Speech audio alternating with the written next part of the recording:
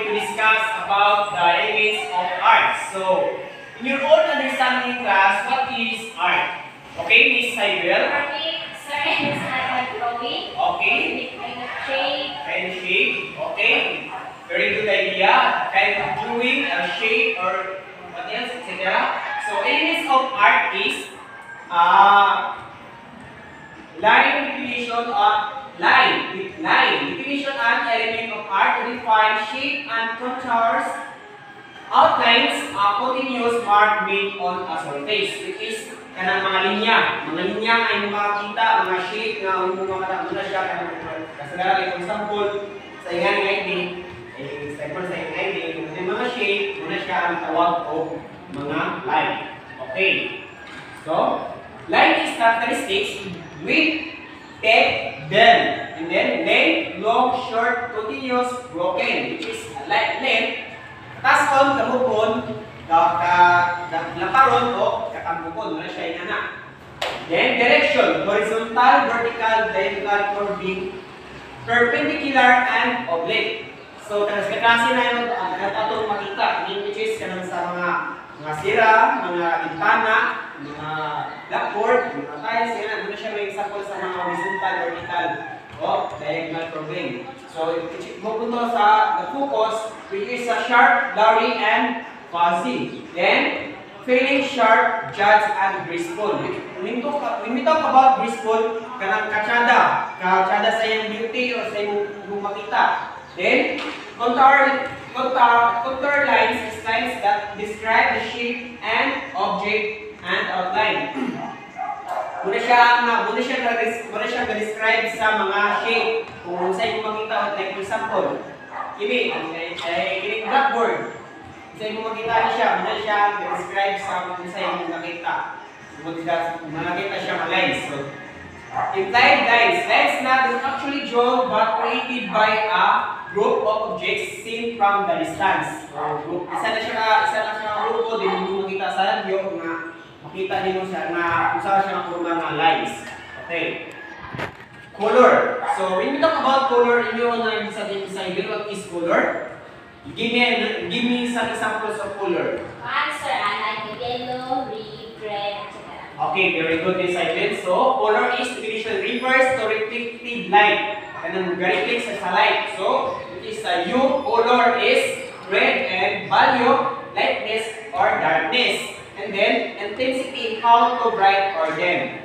Okay. So, the characteristics is primary, secondary, tertiary, intermediate, and planetary. So, when we talk about the primary, is primary urinary service islands. So, primary colors, sir, so there are colors. Uh, Primary. so, primary, so the first color is blue, yellow, and red. Okay, very good.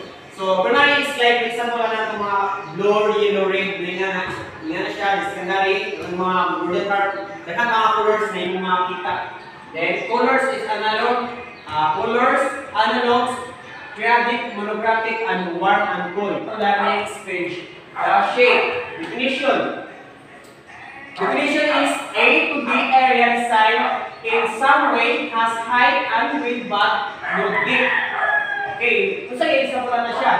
Saan na siya? Imo example, based in your own understanding. About siya sa one, shape. Answer like circle, triangle. Okay, very good. The shape characteristics is geometric shapes, shapes that are sharp and found in map. So, kung sagara siya, makita siya sa map, kaya dito siya nakalikan. Kasagara, kung makita, ano mo yung mga triangle, uh, surface, and organic shape is shapes that are found in nature round. So, makita sa itong mga palibot. Now, saan mo makita din sa this one. Okay, very good. So next next page. So shape is visual.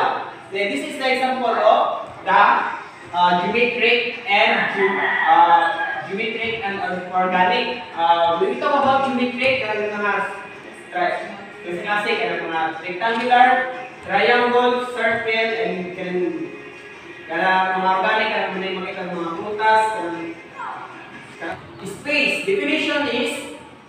refers to the area all around an object arrangement of objects on a picture plane. This can be achieved space through perspective. So, muna siya mga space, kung kalapon siya or kadagmo yun.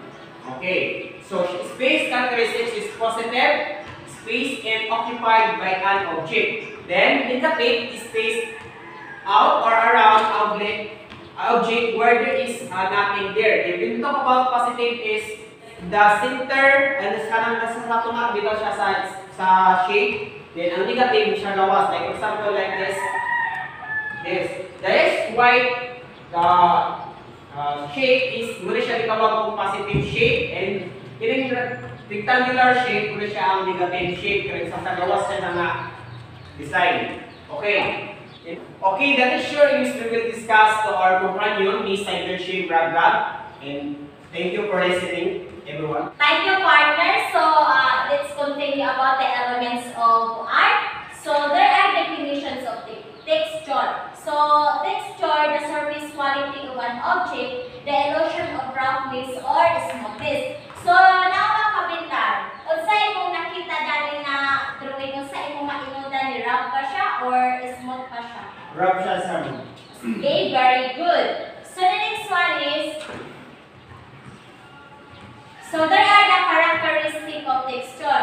So the first one is a real texture. So the real texture, the actual texture of an object, and the second texture is implied texture. How the texture appears to feel but, but may not uh, actually read that way. So Mr. Macabelar, in your own opinion, what is the real texture and implied texture? Real texture, ma'am, is like, for example, kanang bangko siya, ma'am. Tana- Tanawin mo siya sa rayo, bisan pag sa rayo, kapon. Kung siya ng smoke siya. Like, and uh, uh, implied texture is like, for example, kanang sa painting niyo, ma'am, kanang uh, tanawin sa rayo, ra- graph sa tanawin, pero pag kapon, smoke. Okay, very good. The class of texture. So the example of visual the is a smooth like a baso, rough, uh, example like towel, a hard, soft, woven, uh, and